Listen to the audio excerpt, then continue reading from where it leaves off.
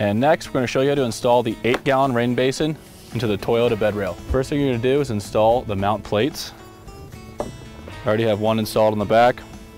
You're gonna take your button head screws. For now, you're just gonna install them finger tight. So to install the eight gallon, we're gonna mount the tanks flat against the rail like that.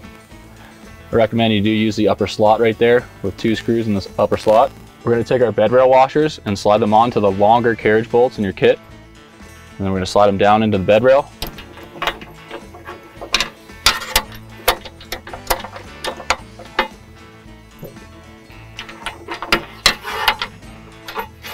Two bolts per mount.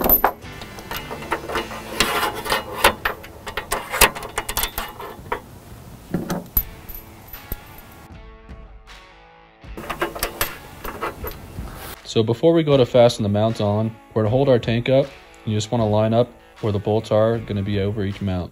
So I need to slide these down a little bit. You want the bolts sitting right over each mount plate.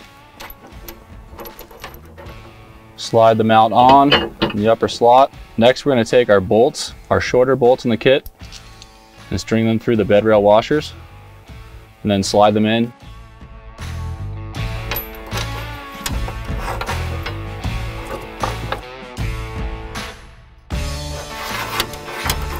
we're to take our tank and just hold it up to where the screws are.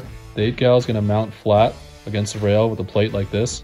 I do recommend using the upper slot so it sits below any bed covers.